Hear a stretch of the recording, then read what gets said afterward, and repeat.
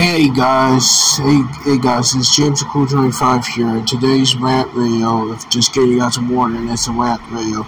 So my friend Predator was trying to do an MC contract, and credit to him by the way. He got his he got his MC business rated during an MC contract. How the heck does that make sense? This is why Rockstar really needs to remove the raid missions entirely because now we have the freaking CEO creates ghost raid that even if you're not in the CEO that can happen. Now we have this crap. We have tech. We have like a MC, like a, like a ghost raid type in the MC, but not really.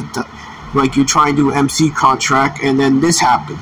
Defend product over, and friend Predator lost old, old tires meth lab over something that, that something that he, is out of his control.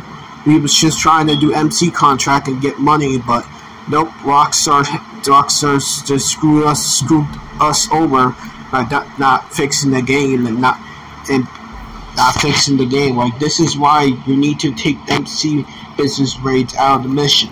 And let me tell you something. Rockstar didn't move MC raids at one point back in 2018 with 2018, and also took the took out I think the bunker raids.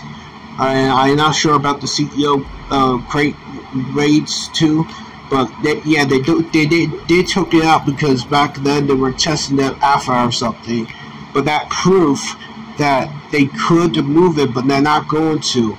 Like Rockstar, take these freaking business rates out of the game. It's causing so many issues, and whoever came up with this, this is so stupid it's probably the same guy that freaking said, "Ooh, let's go nerf Kyle." It's probably the same guy who went to the Cluster Mark II and the freaking Orbital Cannon. Like this, this, this is so stupid. Like get the raids altogether.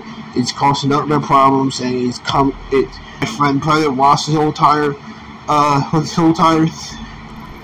He lost his whole time method uh, out, out of his control. Sorry about that cut or uh, what I cut out. But anyway. Rockstar really needs to remove this, and I'm sorry about my rant, guys, but it's just been frustrating the past couple of days. We've been trying to help each other sell their two times money Red Week. But this is how Rockstar treat us, and not fixing the game. But, but, but anyway, hope you guys enjoyed this video, and make sure to uh, share this video to Rockstar support page, because this is another game breaking glitch that should be fixed, fixed immediately, ASAP. But anyway, I hope you guys enjoyed this video, and if you find this video helpful, like and subscribe. See you guys next week. Peace.